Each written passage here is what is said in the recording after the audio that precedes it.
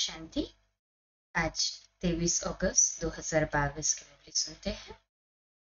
आज की मुरली में प्राण प्यारे बाप दादा हम बच्चों से कहते हैं, मीठे बच्चे, अब यह पुराना घर छोड़ बाप के साथ चलना है। इसलिए इस घर, अर्थात शरीर से ममत्व मिटाते जाओ। अपने को आत्मा निश्चय करो। भवी है ना सभी, जितना जितना आत्मनिश्चय करते हैं अपने आप को ना ही इस पुरानी दुनिया से और पुराने शरीर से ममत्व मिटता जाता है ना? है हाँ जी बाबा। आज का प्रश्न है, देही अभिमानी बच्चों के मुख से कौन से शब्द नहीं निकलेंगे?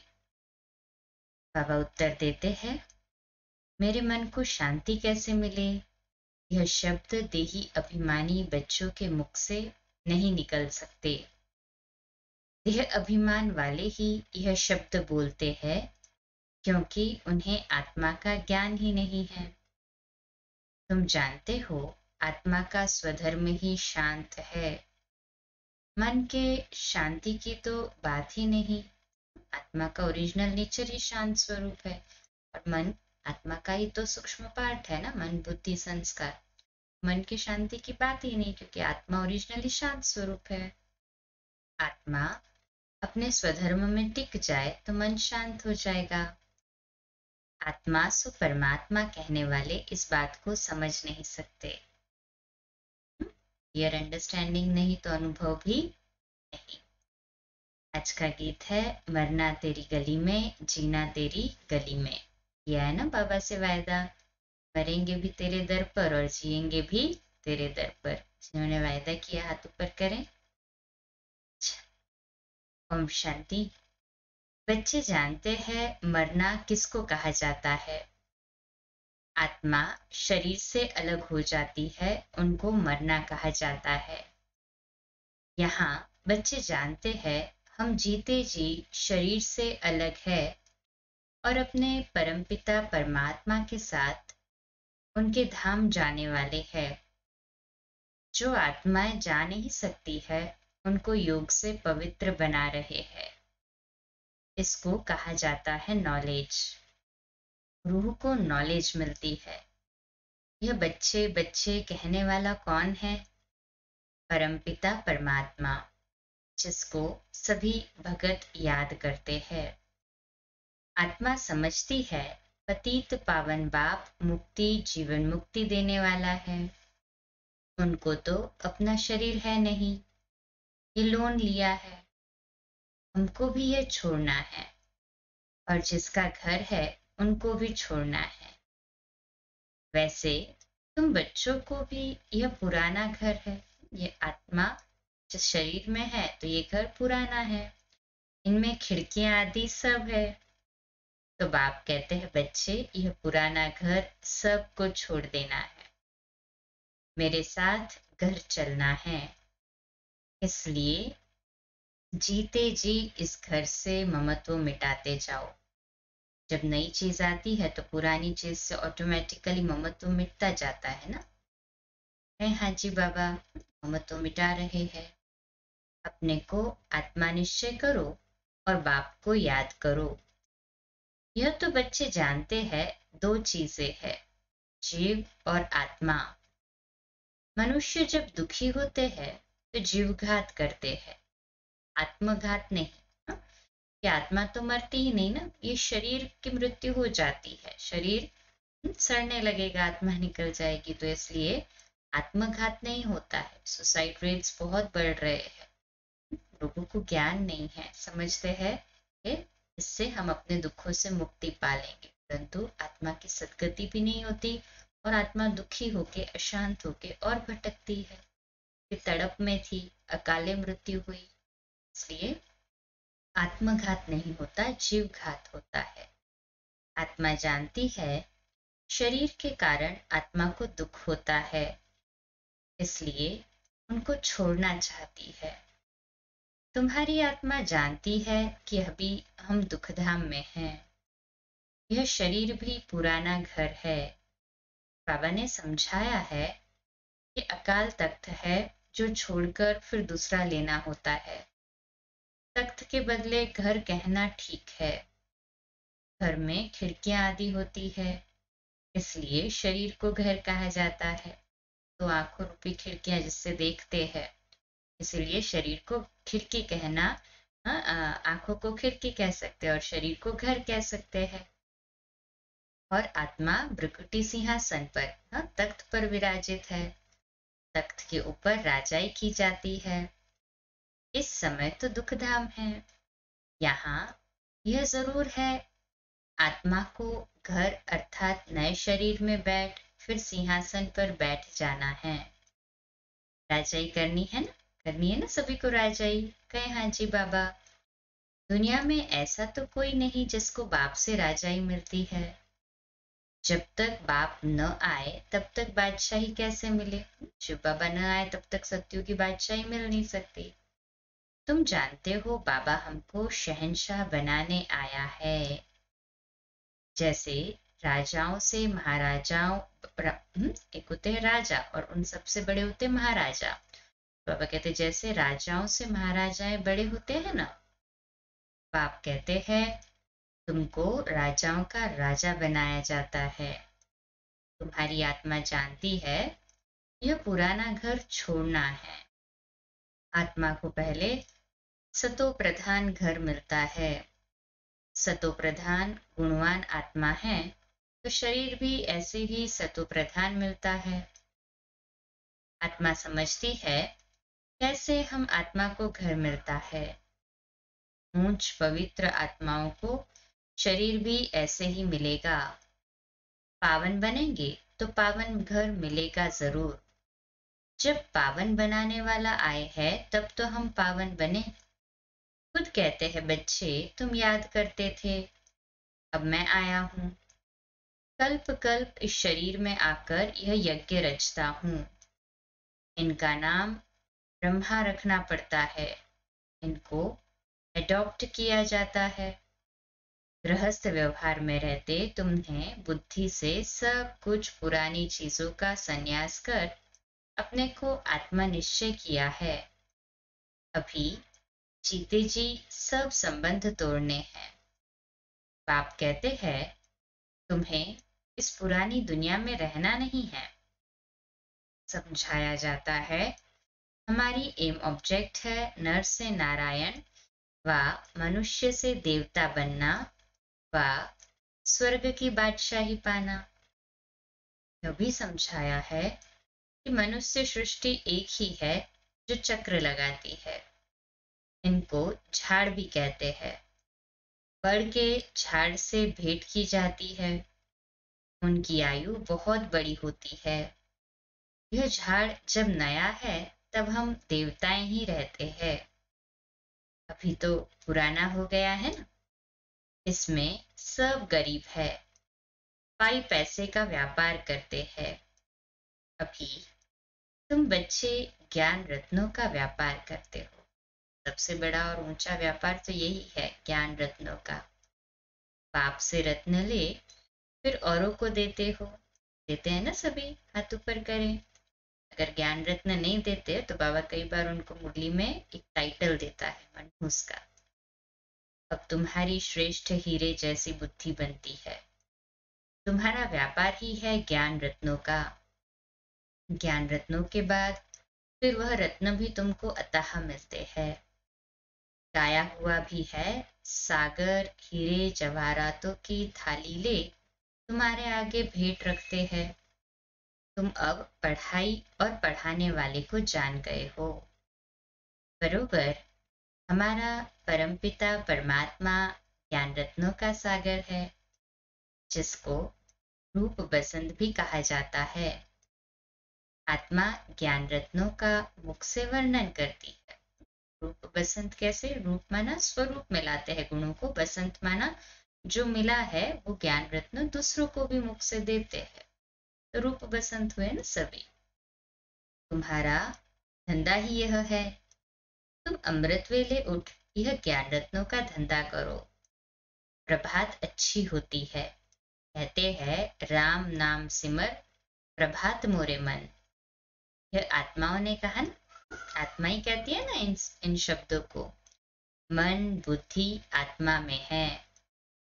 मनुष्य देह अभिमान में रहते हैं तो कहते हैं, मन मेरा शांत नहीं है। जैसे कि शरीर में मन है। परंतु आत्मा कहती है, मेरे मन को, बुद्धि को ज्ञान नहीं है।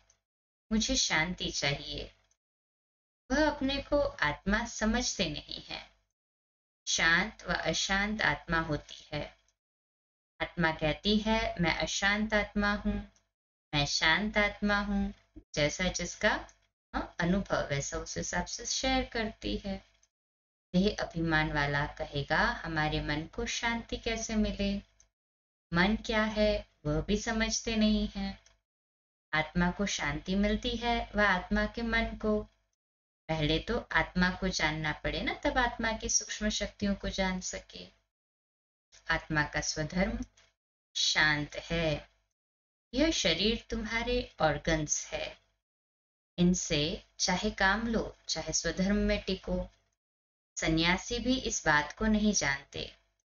वह तो कह देते, आत्मा सो परमात्मा परमात्मा सो आत्मा।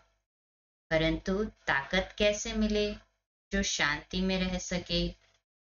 जब बाप को याद करे तभी ताकत मिले। सिर्फ़ शांति से भी कोई फ़ायदा नहीं। वह समझते हैं, हम आत्मा सो परमात्मा हम आत्मा परमात्मा के लोक में चली जाएँगी और कुछ भी नहीं जानते। पुनर्जन्म को भी भूल जाते हैं। चौरासी जन्मों को भी भूल जाते हैं। बाप सम्मुख समझाते हैं। तुम समझते हो कि अभी हमें बाप के गले का हार बनना है। हम असूल उस बाप के गले के हार है हुँ? असल में उस बाप के गले के ये हार थे और अभी फिर से बने हैं। अब नाटक पूरा होता है। नाटक में एक्टर खेलते भी रहते हैं और टाइम भी देखते रहते हैं। अभी नाटक पूरा होता है। बाकी इतना टाइम है। टाइम पूरा हुआ, सब एक्टर आकर खड़े हो जाते हैं। फिर ड्रेस बदली कर घर चले जाते हैं। बहू तुम्हारा भी ऐसे ही पार्ट है। पाप आया है लेने लिए यह प्रश्न ही नहीं उठता, आत्माएँ वहाँ होंगी व नहीं। हमारा काम है वर्षा लेना। ज़रूर आत्माएँ होंगी तब तो आती रहती है ना? हाँ हमारे मन में तो प्रश्न उठना ही नहीं चाहिए कि परम धाम में आत्माएँ होती है कि नहीं। वहाँ है, इसलिए तो यहाँ पे जनसंख्या बढ़ती जा रही है, आत्माएँ आ रही है, नीचे और बुद्धि हो, वो पाती रहती है। अभी भी आती रहती है ना? तब तो बर्थ कंट्रोल आदि करते हैं। आत्माओं को वहाँ से स्टेज पर आना ही है। फिर बर्थ कंट्रोल क्या करेंगे? जो कुछ भी बची कुछ आत्माएँ हैं, सब आएँगी। इसलिए तो वृद्धि होती रहती है ना? वृद्धि होनी ही है, ये भी ड्रामा में नोंद है। ये तुम बच्चों को पता है, जो कुछ पिछाड़ी वाले रह हुए होंगे, वह आते जाएँगे। जैसे मच्छर देखो रात को आए और सुबह को देखो तो सब मरे हुए होंगे। परंतु उनका कोई हिसाब किताब थोड़ी है। यह जो बड़े बड़े साइंसदान हैं, वह कितना माथा मारते रहते हैं? खोज करते रहते हैं। जैसे ज्ञान की ऊंचाई है तो माथा भी कम नहीं है। देखो, आसुरी मत पर क्या क्या बना रहे हैं? श्रीमत क्या कहती है और साइंस वाले क्या करते रहते हैं?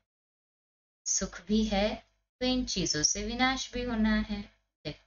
फ्लाइट्स है वो हमें बहुत कम समय में एक स्थान से दूसरे स्थान पर पहुँचा देती है। मिसाइल्स, एटॉमिक बॉम्ब्स जो बने हैं, वो बहुत कम समय में विनाश भी तो कर देंगे ना।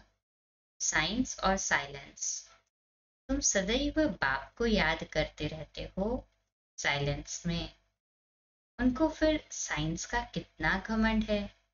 कितने एरोप्लेन, बारूद आदि है। साइंस पर साइलेंस की विजय होती है। कई कहते हैं, मन जीते जगत जीत परंतु माया जीते जगत जीत कह सकते हैं। आत्मा अशरीरी हो, बाप के पास चली जाएगी। चलना है सभी को रिटर्न जर्नी के लिए रेडी है ना? हाँ जी बाबा। कहते हैं, मन में संकल्प, विकल्प न आए। बाप कहते हैं, ये तो ज़रूर आएँगे। परीक्षा लेंगे बाबा, तब तो पता चलेगा ना कि कितनी वृद्धि हो रही है, कितना आगे बढ़ रहे हैं।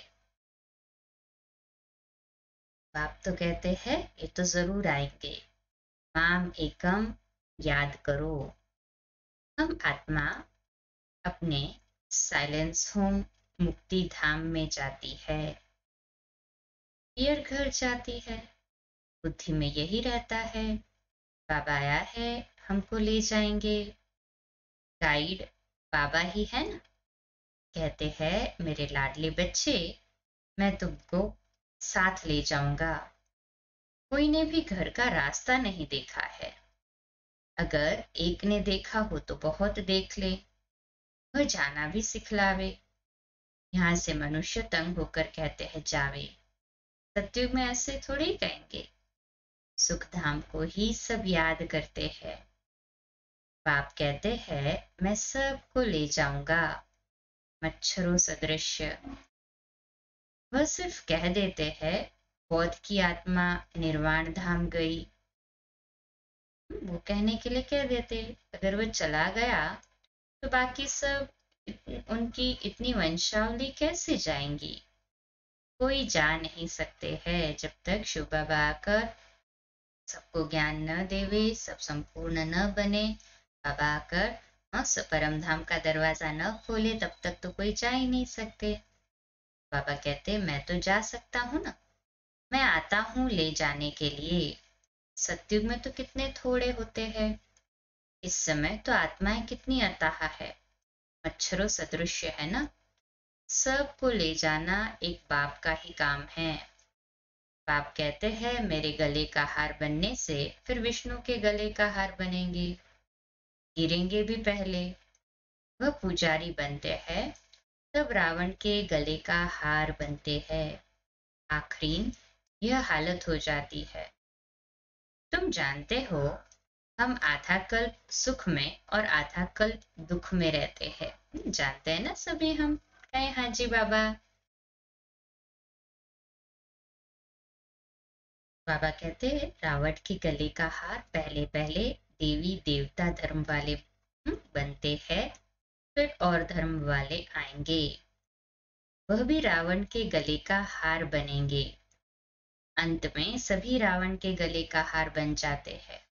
यह ड्रामा का खेल ऐसा बना हुआ है, जो सिवाय बाप के और कोई समझा न सके। पॉइंट्स तो बहुत मिलती है ना समझाने के लिए। नटशल में कहा जाता है एक बाप को याद करो। पतित दुनिया को कैसे पावन बनाते हैं? और फिर गले का हार पहले पहले कौन बनते हैं? यह बुद्धि में रहना चाहिए। बरोबर, हम असल में अपने बाप के गले की माला है। फिर बाबा हमको सूर्यवंशी, चंद्रवंशी बनाते हैं। फिर रावण का राज्य होता है। यह सृष्टि का चक्र कैसे फिरता है? तुम जानते हो नंबरवार स्कूल में सब सब्जेक्ट में सौ मार्क्स तो कोई नहीं लेते हैं। हाँ कोई एक सब्जेक्ट में सौ मार्क्स मिल सकती है। इसमें भी मार्क्स है। दैविक गुण धारण करना कितनी बड़ी सब्जेक्ट है। सारे चक्र का राज भी समझाना है। कोई में गुण कम है, मुरली अच्छी चलाते हैं। नंबरवार तो होते ही है ना। जो पास होते हैं, वह गले का हार बनते हैं। पाप तो परफेक्ट है। उन जैसा परफेक्ट कोई हो नहीं सकता। वह तो जन्म मरण में आता ही नहीं है। तुम्हारी बुद्धि में कितनी नई नई पॉइंट्स है, जो और कोई की बुद्धि में बैठ नहीं सकती।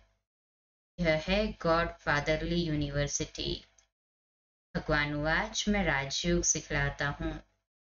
समझ में आता है भारत कितना अमीर था, अभी गरीब है। प्राचीन भारत बड़ा साहूकार था, उनको पैराडाइज कहते हैं। घर में कोई अच्छे कुल के होते हैं, गरीब बन जाते हैं तो उन पर तरस पड़ता है। कहेंगे, बेचारा कितना गिर गया। फिर उनको चढ़ाने की कोशिश करते हैं। क्रिश्चियन लोगों ने भारत के पैसे बहुत लिए। उस धन से खुद साहूकार बन गए।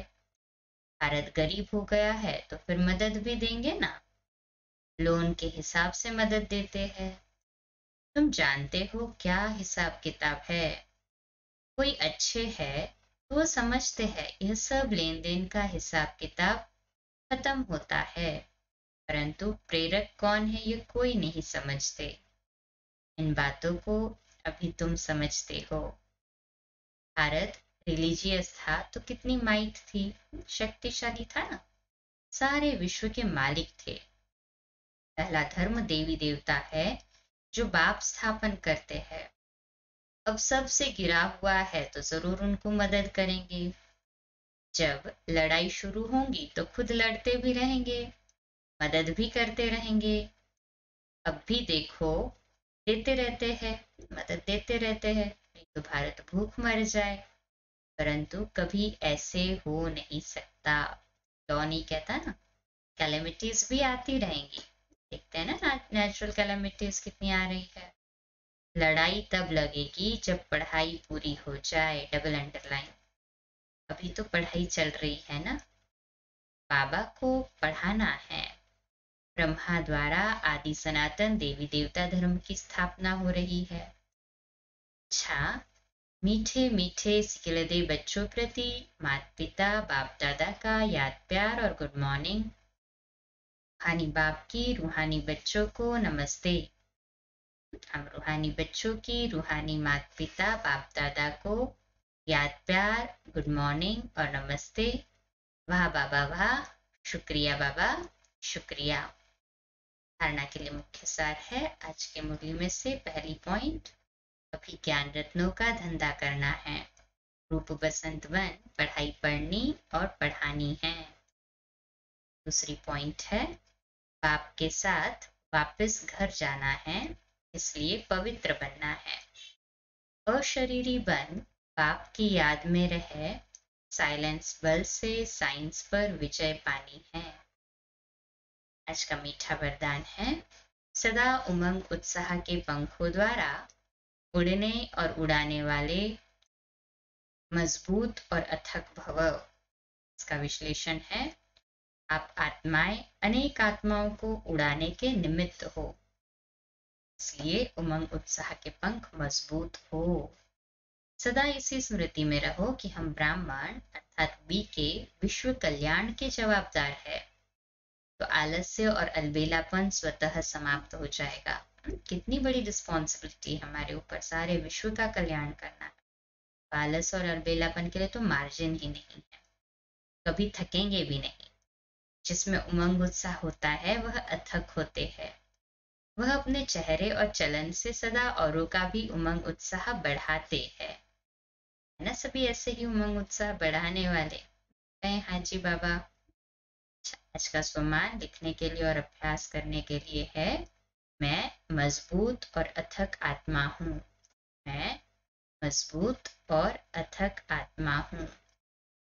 इसका स्लोगन है पाप के संग का रंग लगा हुआ हो तो सब बुराइयाँ सहज ही परिवर्तन हो जाएगी। पाप के संग का रंग लगा हुआ हो तो सब बुराइयाँ सहज ही परिवर्तन हो जाएगी।